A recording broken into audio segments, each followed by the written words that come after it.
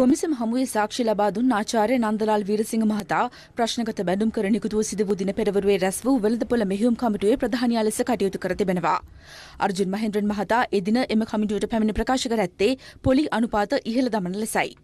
එය සිදු කළ හැක්කේ මූල්‍ය මණ්ඩල තීරණයකින් පමණක් බව නන්දලාල් වීරසිංහ මහතා ප්‍රකාශ කළ අවස්ථාවේදී අර්ජුන් මහින්ද්‍රන් මහතා ප්‍රකාශ කර ඇත්තේ එසේනම් 5%ක්ව පැවති විශේෂ නිත්‍ය තනපතු පහසුකම් අනුපාතය ඉවත් කරන ලෙසයි. කෙසේ වෙතත් ඊට සාක්ෂිකරු විරුද්ධ වී ඇත්තේ ඊට දින පහකට පෙර පොලි අනුපාතය වෙනස් නොකිරීමට මූල්‍ය මණ්ඩලය තීරණය කළ බව සඳහන් කරමින්. කෙසේ වෙතත් අර්ජුන් මහින්ද්‍රන් මහතා එම පොලි අනුපාතය ඉවත් කරන ලෙසට තවදුරටත් උපදෙස් ලබා දී ඇත්තේ වසර 30කින් කල්පිරණ බැඳුම් කර එදින නිකුත් කිරීමට නියමිත බවත් විදෙස් ආයෝජකයින් ඊට ආකර්ෂණය කිරීමට අවශ්‍ය බවත් සඳහන් කරමින්.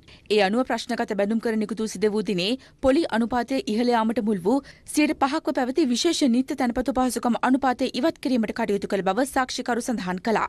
මේ අතර සාක්ෂිකරු සඳහන් කළේ අර්ජුන් මහෙන්ද්‍රන් මහතා මූල්‍ය මණ්ඩලයේ අවසරයකින් තොරව ඍජු ස්ථානගත කිරීම හරහා බැඳුම් කර මිලදී ගැනීම නැවැත්වීමට කටයුතු කළ බවයි. ඒ හේතුවෙන් පසුගිය දෙවසර තුළ ඉතිහාසයේ වැඩිම මුදල් ප්‍රමාණයක් මුද්‍රණය කිරීමට සිදු වූ බව ශ්‍රී ලංකා මහ බැංකුවේ නියෝජ්‍ය අධිපති ආචාර්ය නන්දලාල් විරසිංහ මහතා සඳහන් කළා.